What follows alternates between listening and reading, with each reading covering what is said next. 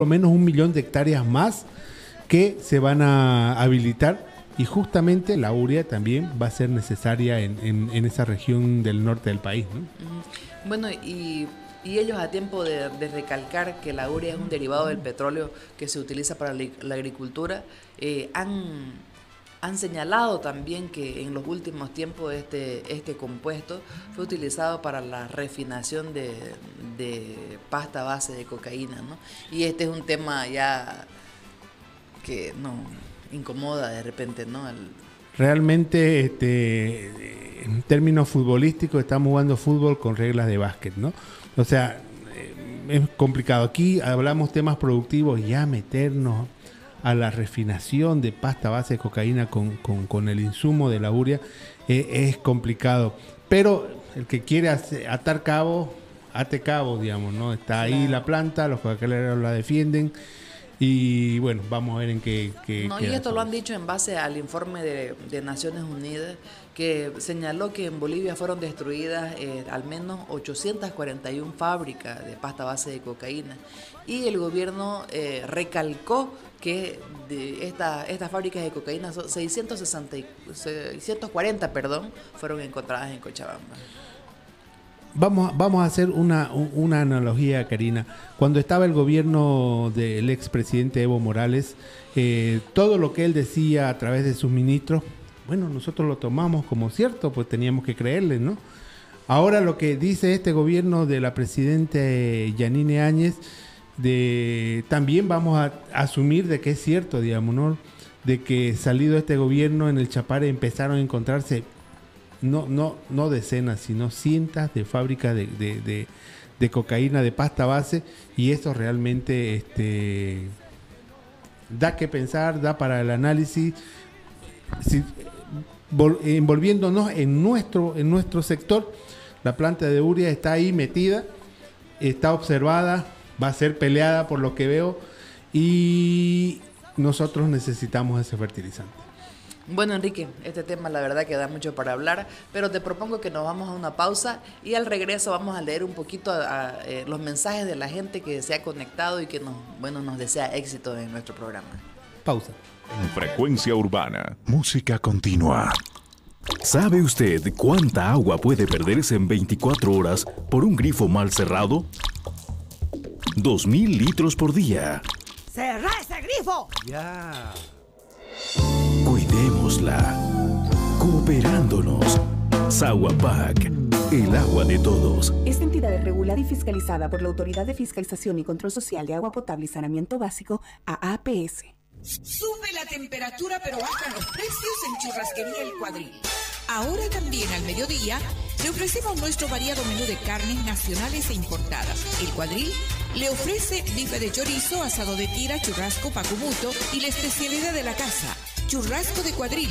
Y como es tradicional, nuestro exquisito buffet de ensaladas con más de 20 variedades. El cuadril está en Avenida Uruguay, frente a Cumbre. Frecuencia urbana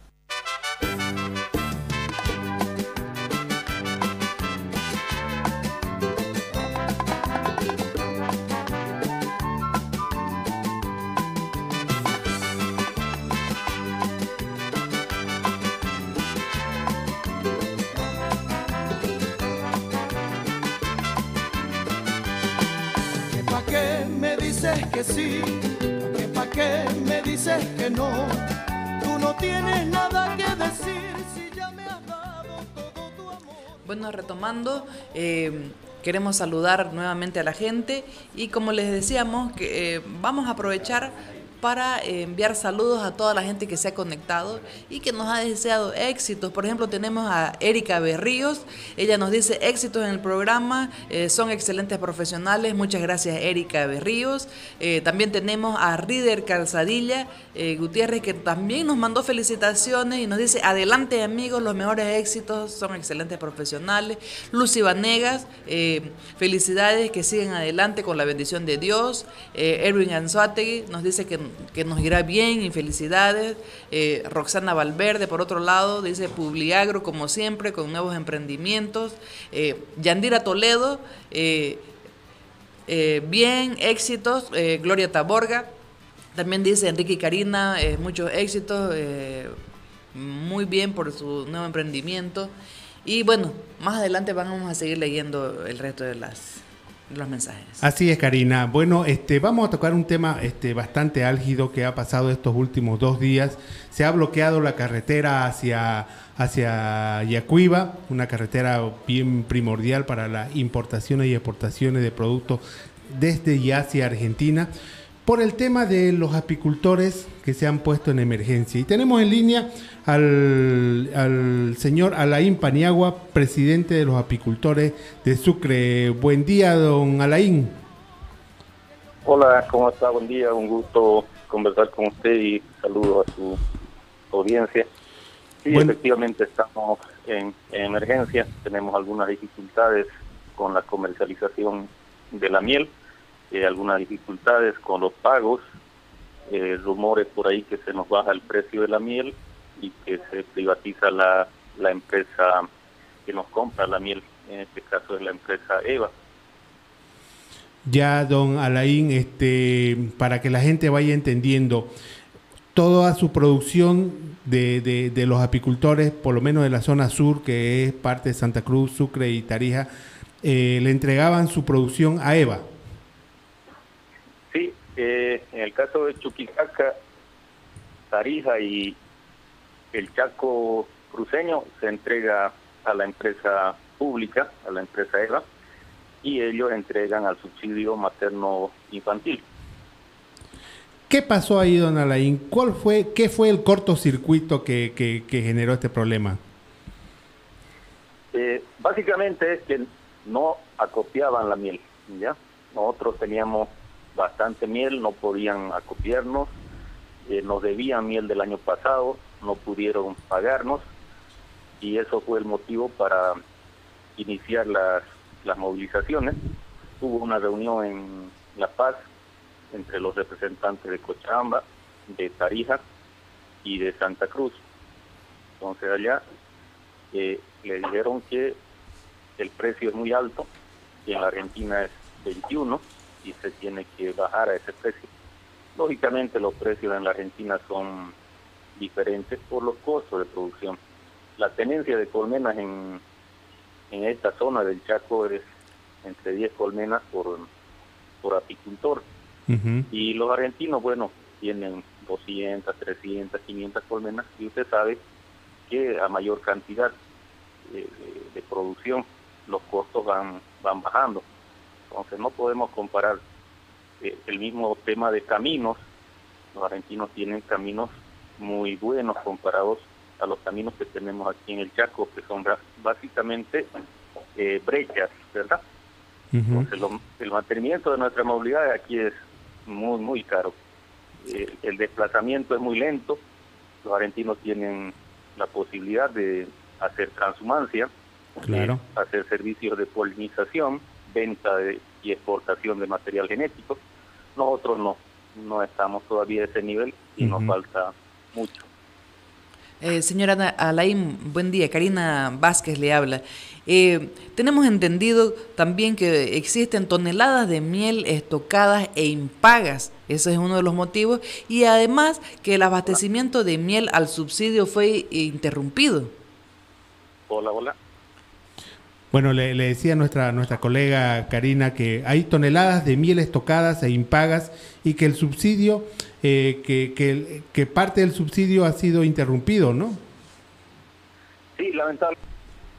El subsidio se da a través o se adjudica a través de una licitación. Esta licitación ha sido declarada desierta, entonces eh, es uno de los motivos por los que no ha estado entregando la empresa EVA al subsidio y se ha estocado la miel en el caso de Monteagudo teníamos eh, 90 toneladas almacenadas en, en los depósitos de la empresa. Y bueno, todo ese, ese volumen de miel no estaba pagado. Con las presiones que realizamos, eh, se logró comenzar a cancelar y hasta mañana viernes se termina de cancelar todo. Creo que lastimosamente nuestras autoridades funcionan así, a presión. Mire, con la presión sí hubo voluntad y ahora nos cancelaron. Y desde el lunes se va a comenzar a copiar el saldo de miel que tenían los, los productores. Es una pena que tengamos que manejarnos así, pero eh, si no hacemos presión, creo que volvemos al adagio de guagua que no llora no mama. A ver si puedo. Claro, y en, y en este país, este eh, productor que no bloquea no consigue sus objetivos, ¿no? No puede vender su producto. Sí. Bueno, señor Alain, ¿me escucha? Sí, ahora sí. Si Ya. puede hablarme Ah, sí. más fuerte, por favor. Ya, quería preguntarle, ¿qué esperan ustedes de esta reunión que van a tener con el ministro Rojo? Bueno, nuestra esperanza es la aclaración sobre la, el tema de baja del precio, ¿ya? Y el tema de la privatización. Garantizar el, el mercado. Eh, en realidad no va a venir el ministro Rojo a, no va a estar el ministro Rojo en Villamonte, entendemos que va a estar una comisión. Eso es lo que nos han dicho nuestros colegas de Villamonte. Que no va a estar el ministro, viene una comisión, porque el ministro está eh, involucrado en el tema de eh, el puerto de Hilo, que lógicamente eh, económicamente tiene mucho más repercusión que el movimiento económico de los apicultores y seguramente ha priorizado eso. Una, una preguntita más. Este, Eva es la empresa boliviana de alimentos. ¿Qué es el programa Promiel para que entendamos? Eh, en realidad es un cambio. hubo.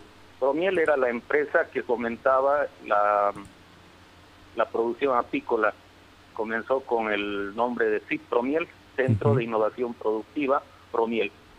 Y eh, el año pasado a, a EVA. En realidad EVA es la fusión de, de tres empresas, la de stevia, esta de almendras y la de mm, la de miel. Ya. Eso es EVA. Eh, te- eh, señor eh, Paniagua. Alain, eh, tenemos entendido que la empresa EVA eh, desembolsó 900 mil bolivianos a los apicultores de Chuquisaca, pero que todavía queda eh, pagos pendientes, ¿no es cierto? Eh, no. Ayer nos dijeron que hasta el viernes, ya nos mostraron los desembolsos, ya hasta el viernes, hasta mañana, se paga de las 90 toneladas. Ah, ya. Ya. Entonces, en cuestión a, a pago, tendríamos nada pendiente. De todas maneras, nosotros seguimos en vigilia. Si bien va a haber una comisión que va a estar en Villamonte, nosotros vamos a ir ahí y vamos a agendar otra reunión para Monteagudo. Tenemos Perfecto. cosas pendientes que tenemos que aclararlas todavía. Perfecto. Una de esas es eh, la programación de compras de miel. Lo que queremos es coordinar con el SENASAC, establecer un registro nacional de, de apicultores, ¿ya?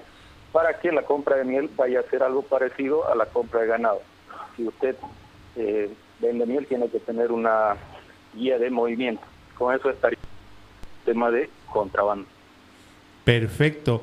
No hay mal que por bien no venga, digamos, este los obligó a ustedes también un poco a tomar medidas internas para mejorar la trazabilidad de la miel, ¿no?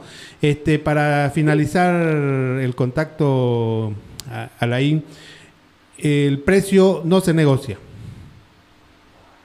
Eh, estimado, el precio, ese es el precio que tenemos nosotros. Producir miel en Bolivia es caro, eh, los materiales son caros. Eh, nuestros productores que están con 10 colmenas tienen un costo de producción de 29, 30 bolivianos. Ya la gente que está con 50, con 100 colmenas, ellos deben estar con un costo de producción de 25. Ya. Eh, sería lapidario para el productor mm, chaqueño eh, boliviano en general, bajarlo a 21 porque eso lo que quebraría. Estaríamos vendiendo nuestro producto por debajo del coste de producción. Y don Wilfredo Rojo, eh, el empresario, sabe perfectamente que si vendemos por debajo del coste de producción, eh, quebramos, rompemos la eh, al sector. Señora Alain, para dejar un poco tranquila también a la población, tenemos entendido que eh, por el momento ya no existe bloqueo eh, mientras ustedes se sienten a dialogar con el gobierno y obviamente de acuerdo a las respuestas que le den. Hola, hola. Perdón, me repita Le- la pregunta. Sí, le decía a mi colega, eh, por el momento el bloqueo hacia Villamonte está suspendido o está en un cuarto intermedio hasta que ustedes lleguen a un acuerdo con el gobierno. Eh, ¿Es una suspensión definitiva o es mientras tanto vemos qué pasa? Es, el, bloqueo se ha suspendido, se ha hecho un cuarto intermedio en Villamonte. Vemos qué pasa, qué resultado y eh, se toman las medidas en función a los resultados que tengamos.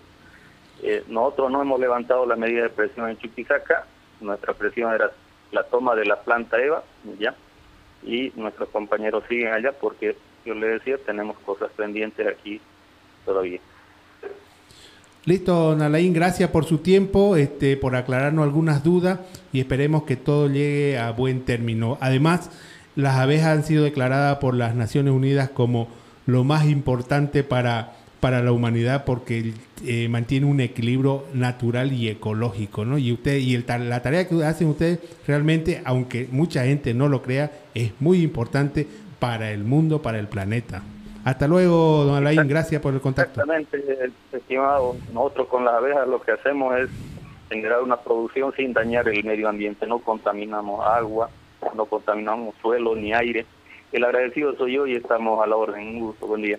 Buen día, hasta luego. Ese fue Alain Paniagua, el presidente de los apicultores de Sucre, uno de los, uno de los este, promotores de este reclamo que han hecho a la empresa boliviana de alimentos. Esperemos que, que las gestiones que haga el, ministro Wilfredo Rojo lleguen a buen término, si bien él no va a estar, pero supongo que han dado, ha dado las órdenes de que esto se solucione. Bueno, como él dijo, va a estar una comisión atendiendo eh, todas las, solicitudes de los apicultores. Bueno, Enrique, antes de irnos a la pausa, saludemos a las provincias. Así es, este, llegamos a la zona este, saludamos a toda la zona productiva que está ahorita eh, eh, en las enfermedades de fin de ciclo controlando o muchos ya cosechando. Yo he visto a, amigos nuestros que, que están ya preguntando el precio de la soya, eso significa que están en pre-cosecha o cosechando. Entonces, la zona este, de, empezando desde Cotoca, Puerto Pailas, Pailón, este, el Trancón, eh, Tres Cruces, Pozo del Tigre, Tinto, San José y toda la gran chiquitanía. Y por el norte también eh, Saavedra, Minero, Handerman, Portachuelo, Buenavista, hasta Yapacaní en, en Santa Cruz y en sí a todo Bolivia productiva. Vamos a la pausa. Frecuencia Urbana 105.7. ¿Sabe usted cuánta agua puede perderse en 24 horas por un grifo mal cerrado? 2.000 litros por día. ¡Cerra ese grifo! Ya. Cuidémosla. Cooperándonos. Saguapac el agua de todos. Esta entidad es regulada y fiscalizada por la Autoridad de Fiscalización y Control Social de Agua Potable y Saneamiento Básico, AAPS. Hecom. En Hecom Publicidad te ofrecemos de verdad un mundo entero de opciones para poder publicar. Te ayudamos a vender tus productos en la web, mundo mediante una misma red. Le creamos y diseñamos su propia página web desde 99 dólares. En Gcom Publicidad sabemos cómo hacerlo. Podrás mostrar videos, chat, Facebook, Twitter y más en tu web. Le ayudaremos a encontrar la mejor manera de mostrar su producto al mundo. Teléfono 331-0755, celular 708-57529 o visítenos en www.gcompublicidad.com. Gcom Publicidad, sabemos cómo hacerlo. Es momento de presentar los hechos que hicieron historia en este globo terráqueo. San Agustín, doctor de la Iglesia, hijo de Santa Mónica, frecuentó los círculos maniqueístas y neoplatónicos hasta que se convirtió con las predicaciones de San Ambrosio. Ordenado en Hipona en el año 396, fue obispo de esta ciudad. En las confesiones relató su turbulenta juventud y en la ciudad de Dios se anticipó a la teología de la historia. Su doctrina de la gracia fue adoptada oficialmente por la Iglesia Católica. Arroz si te da variedad por el color del envase lo distinguirá. El rojo favorito en la amarillo, grano de oro, el verde es el ¡qué variedad! Kaiser Limitada con más de 50 años llevando a las mesas de los hogares bolivianos arroz de primera calidad, cumpliendo las normas sanitarias exigidas en el país. Recomienda a los consumidores verificar que en el envase se encuentre impreso el registro SENASAG. Kaisi, especialistas en arroz. 105.7 Frecuencia urbana.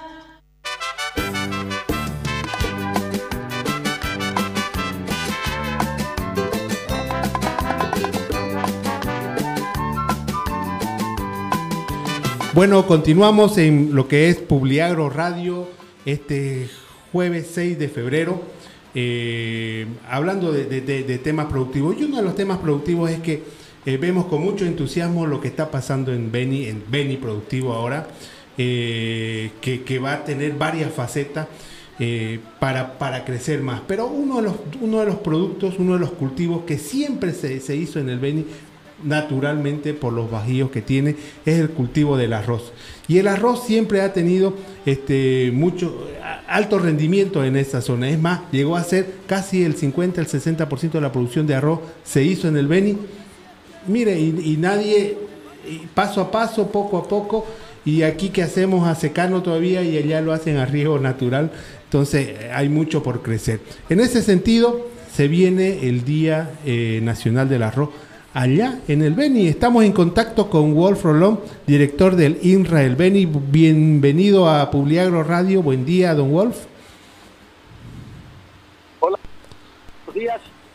Muchas gracias a Publiagro por darme la oportunidad de promocionar el Día Departamental del Arroz. Ah, perdón. Yo soy responsable de... ¿Aló?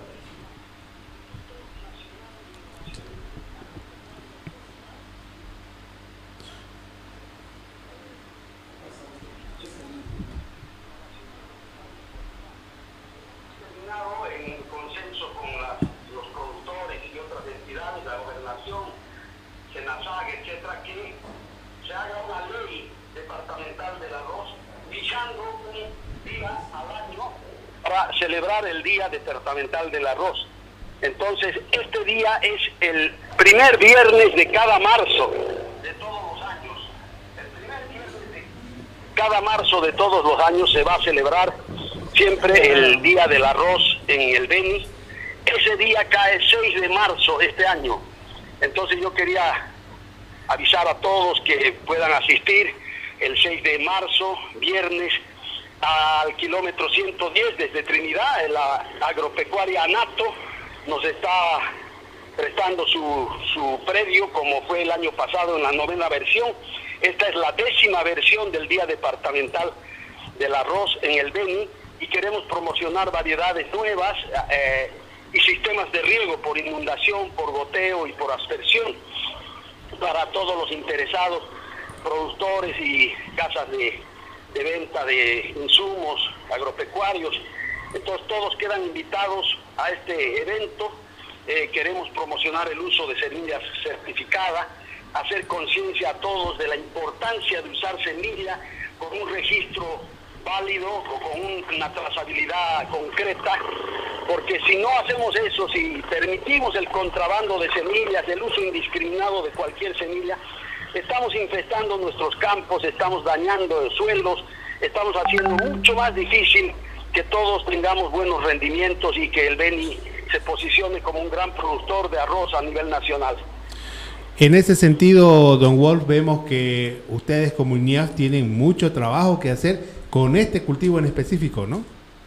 Sí, correctamente, hay mucho que hacer, estamos eh, precisamente validando otras variedades en todo el proceso de, de hacer eso y de promocionar a quienes se quieran involucrar en temas de investigación para que tengan el respectivo royalty, el derecho intelectual, ¿no? Entonces estamos promoviendo eh, variedades aptas para la sabana mal drenada, que es el Beni, ¿ya? Y también para zonas con mejor drenaje, ¿no? Que están básicamente al sur de la provincia de Marván, que colinda con el departamento de Santa Cruz. Tenemos mucho que hacer y también en otros rubros, ¿no? No queremos que el INAP se sesgue demasiado a semillas y todo solo a arroz, porque es una entidad que debería estar investigando y transfiriendo tecnología a los productores en pecuaria también, en el tema acuícola y en el tema forestal. Entonces, por razones económicas, el INAP solo se ha dedicado a semillas, pero ya el plan es precisamente abrir mucho más la investigación, mucho, mucho más en un departamento como el BENI, que es pecuario, para una serie de investigaciones, mejorando el pastoreo a través del pastoreo racional, la conservación de forrajes y una serie de elementos que mejoren la productividad ganadera del departamento. Y también tema acuícola es un gran tiene un gran potencial de piscicultura. El Beni es una gran reserva de agua. Tenemos también el tema forestal con frutos amazónicos como son el copuazú el azaí el, y el majo y obviamente la castaña y tenemos también un cultivo promisorio que es el cacao que también estamos en el programa cacao promo- promoviendo eso eh, para cuidar las variedades silvestres y que no se nos contaminen con variedades híbridas que bajan de alto veno. Entonces, toda esa es la actividad y le agradezco mucho esta cobertura para difundir estos, estos temas. No, eh, Wolf, está usted siempre con las puertas abiertas, Publiagro siempre está con las puertas abiertas para que usted, eh, si bien es nuevo en el cargo, pero usted es zorro viejo en lo que es agricultura, usted conoce muy bien, este, su aporte realmente va a ser muy importante para, para la producción veniana. En este caso, por ejemplo, el cacao, eh, he visto también que ONGs como CEGIS hace su propia investigación en el tema ganadero. Fega Beni está haciendo sus, sus cosas. Eh, ¿Ustedes van a coordinar todo el trabajo con todas las instituciones? ¿Van a ir o van a esperar que ellos vengan? No, no, eh, nosotros coordinamos todo, somos la entidad del Estado llamada Exactamente. coordinar y a ordenar diversas investigaciones para que no nos pisemos la manguera, ¿no? Entre, entre varios haciendo lo mismo. Es la entidad referente, además, ante todo el mundo en cuanto a entidad de investigación y transferencia de tecnología agropecuaria, acuícola y forestal. Es, digamos, un referente para Embrapa, que es una enorme institución de Brasil, con muchos años de experiencia, es un referente porque es el paralelo del INTA de Argentina, el INIA de Chile, el INIA de Perú. Entonces, por eso el INAP tiene que ser fortalecido en sus otras actividades. Nosotros tenemos el Consejo Departamental de Innovación, que es la reunión de todas estas entidades, como las que usted ha mencionado y otras, incluso comunidades indígenas, etcétera, que vienen, nos reunimos cada cierto periodo a precisamente eh, intercambiar eh, demandas, ¿no? También se, se llama a las universidades, centros, institutos del departamento a que eh, expongan lo que están haciendo, etcétera, para tener un nivel de coordinación general. Ese es el Consejo Departamental de Innovación que existe en cada departamento. ¿no? Así que eh, esa es la, la labor y esperemos que podamos avanzar y, y quiero recordarles una vez más, aprovechando el medio, que el 6 de marzo tenemos el Día Departamental del Arroz y que te- quedan todos invitados a poder eh, realzar con su presencia este evento. No, eh, personalmente como, como medio de comunicación vamos a estar presentes porque creemos que la produ- producción de arroz en el Beni es tan importante eh, como la, la de Santa Cruz y el aporte que dan a, a- a la producción nacional, a la demanda nacional, es muy importante. No, no, no nos olvidemos que el trigo y el arroz fueron los únicos cultivos que no fueron autorizados para exportar porque justamente la demanda no está cubierta a nivel eh, nacional. Una consulta más para finalizar y para comprometerlo, eh, me gustaría hablar del, del plus, del nuevo plus de- del Beni. No sé si podemos hablar el día martes tal vez con usted. El martes, el martes, por favor, podemos hacer una entrevista Ajá. para hablar de estos temas. Ya, y yo le agradezco mucho su cobertura y ahora, más que todo, estamos abocados a la organización del Día Departamental del Arroz. El martes yo le prometo que vamos a poder hablar de esos temas. Perfecto, don Wolf. Yo sé que está de ida al campo, hombre del campo, eh, autoridad en el campo. La autoridad tiene que estar en el campo. Así que eh, lo dejo, lo dejo libre. Gracias por el contacto, don Wolf. Gracias, le agradezco mucho, don. Estamos en contacto permanente. Listo. Hasta luego. Bueno, hemos hablado del, del Día Departamental del Arroz, la verdad que me ha sorprendido. Se nota que el Beni se está moviendo bastante en el Es tema la de décima agricultura. versión. Ajá. Entonces se, se está moviendo demasiado y peor ahora que, que hablan del, del cambio de uso de suelo, ¿no es cierto?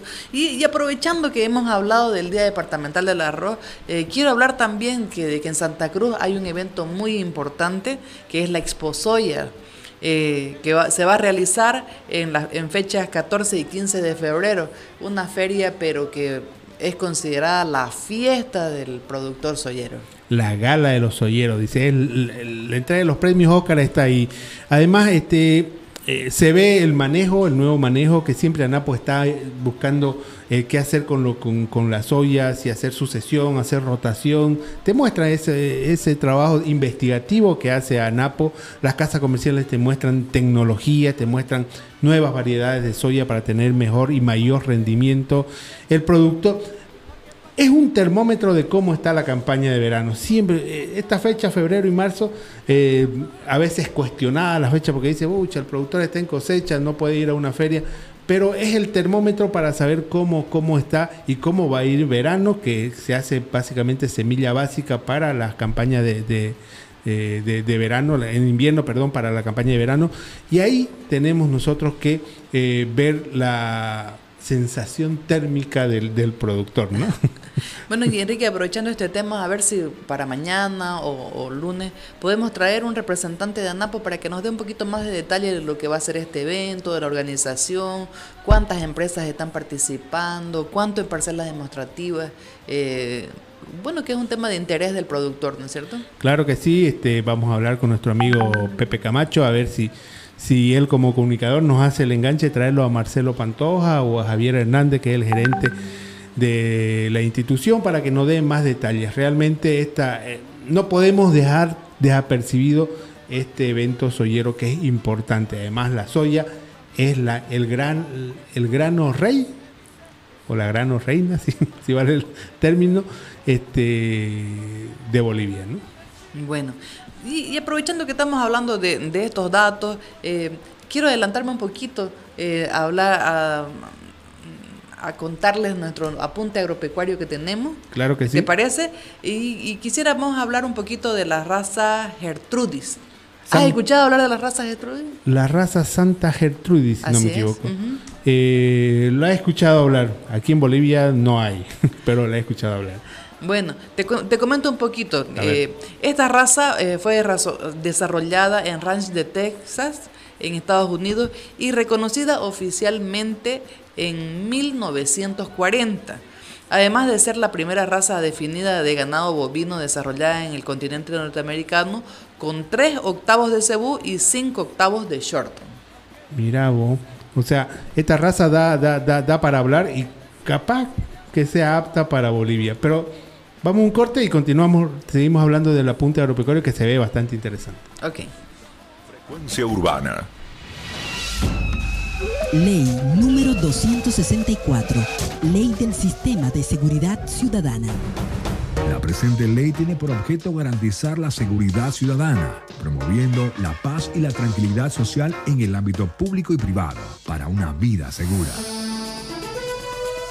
Ley número 264. Ley del Sistema de Seguridad Ciudadana. Es un mensaje de Frecuencia Urbana. ¿Sabe usted cuánta agua puede perderse en 24 horas por un grifo mal cerrado? 2.000 litros por día. ¡Cerra ese grifo! Ya. Cuidémosla. Cooperándonos. Saguapac. El agua de todos. Esta entidad es regulada y fiscalizada por la Autoridad de Fiscalización y Control Social de Agua Potable y Saneamiento Básico, AAPS. Cantaste y bailaste cada una de sus canciones. Ahora llegan a Santa Cruz para la mejor precarnavalera. Desde México, Bronco por siempre en concierto. Además, el combo de Veracruz.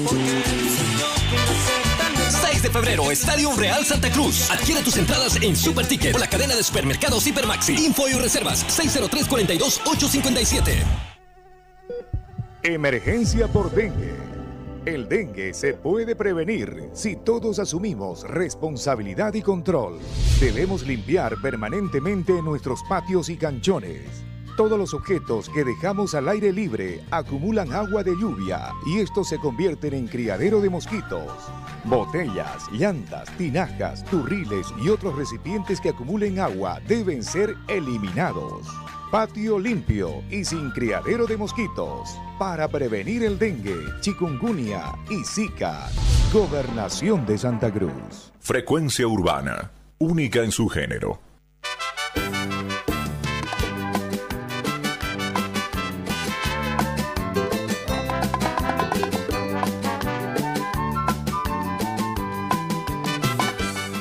Bueno, estábamos hablando de las razas Santa Gertrudis, son las 7.45, 8 menos cuarto eh, de la mañana.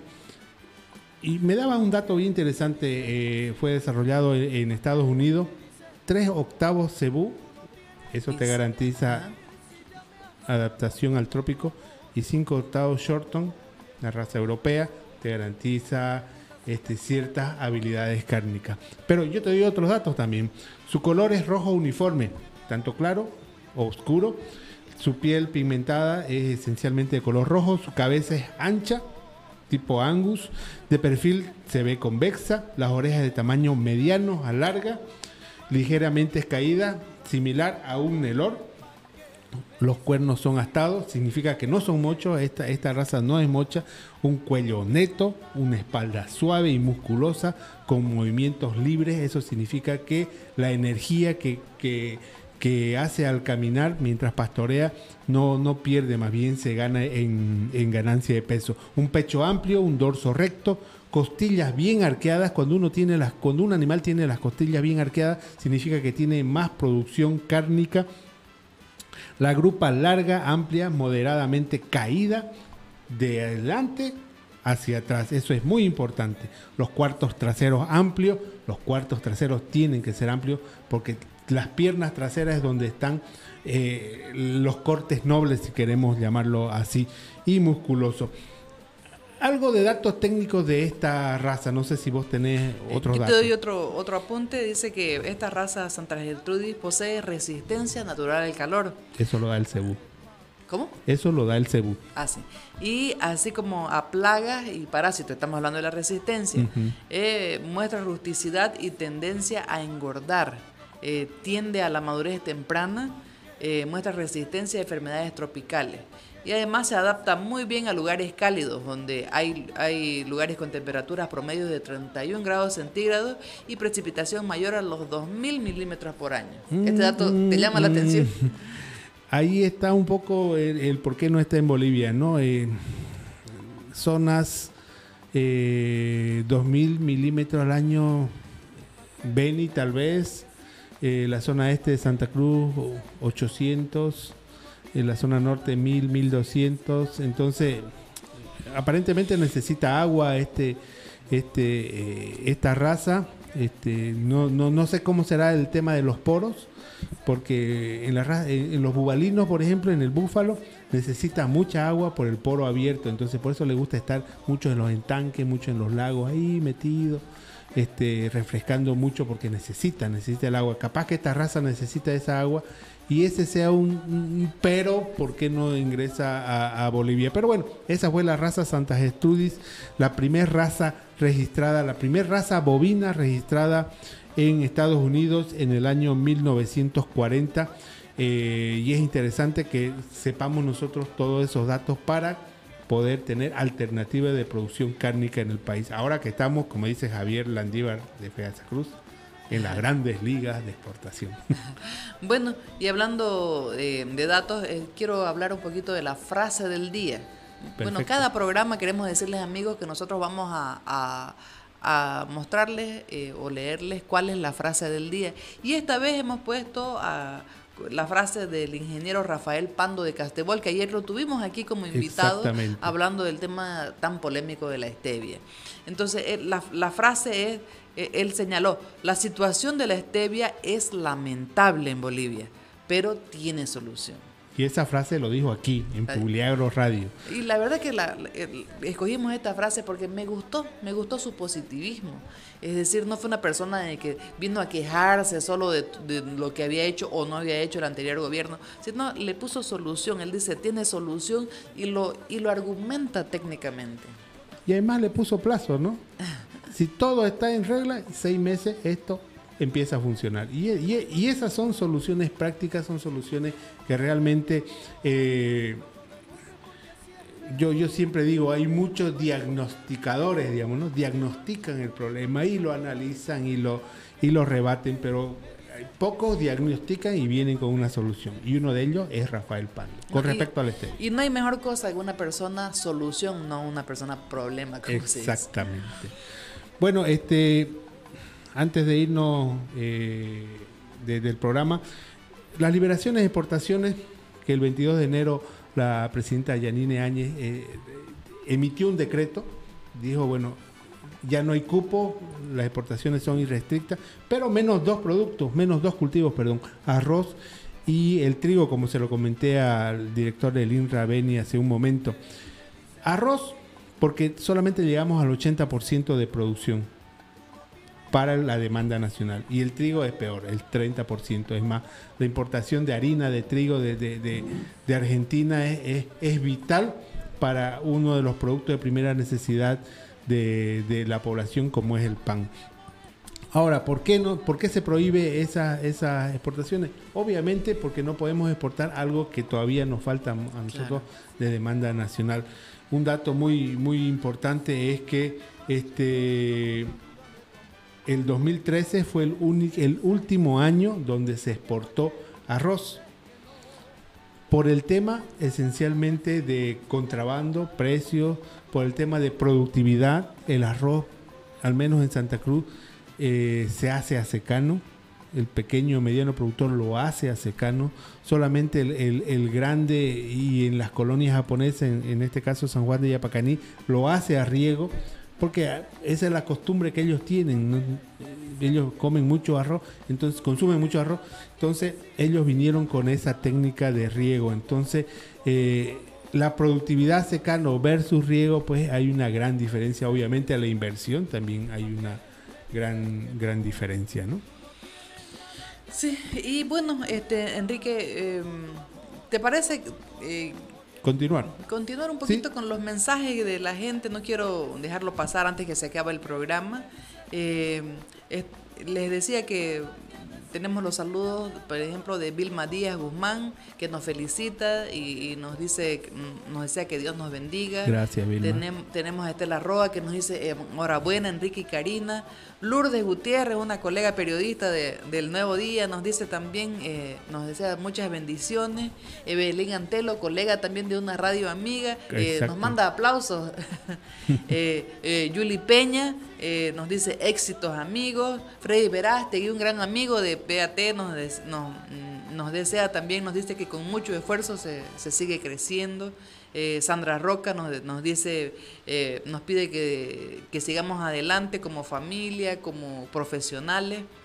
Carlos Alberto Lino eh, nos manda también felicitaciones y dice que se alegra mucho de los éxitos.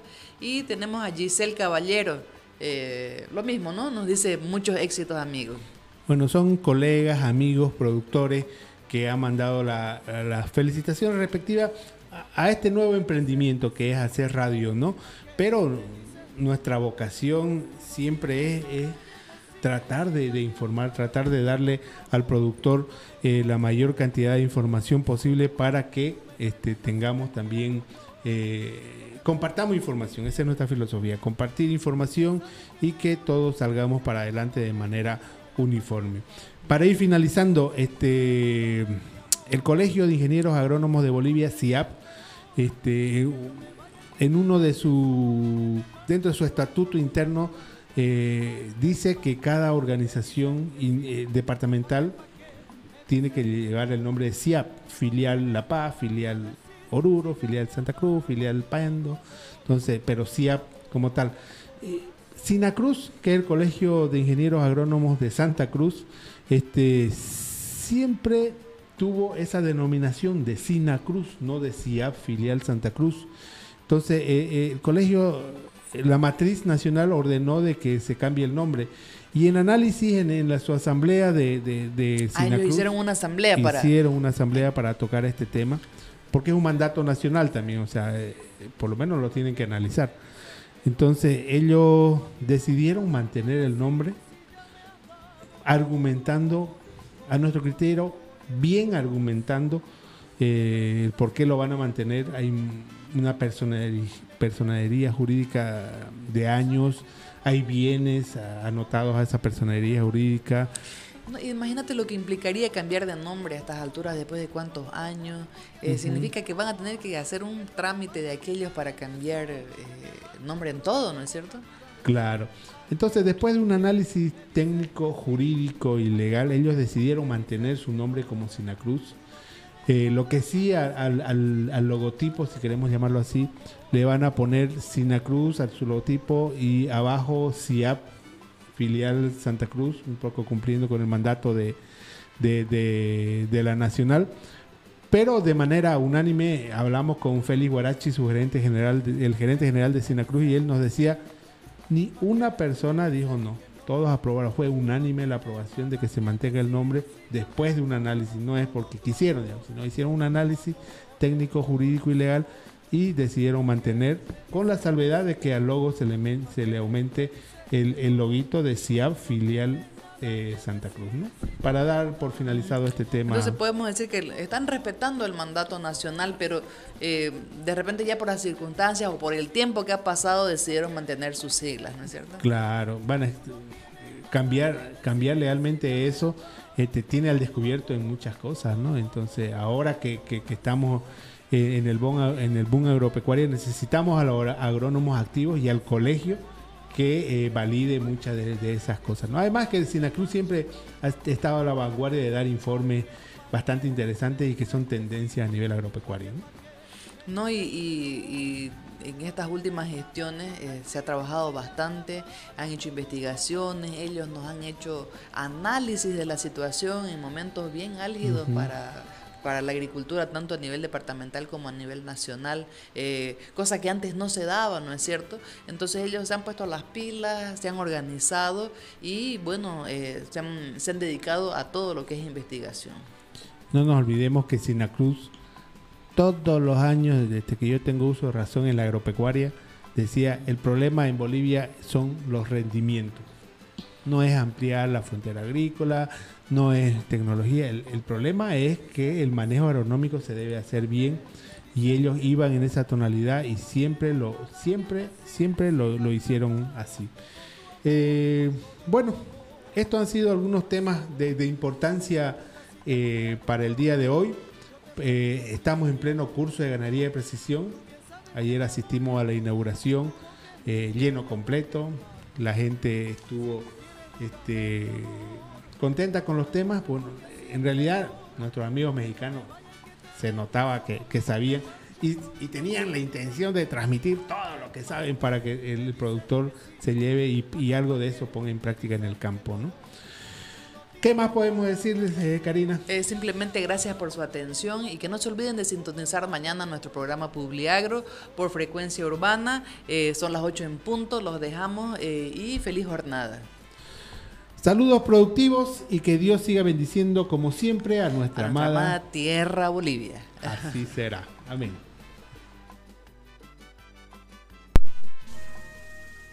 Esto fue Publiagro Radio con Enrique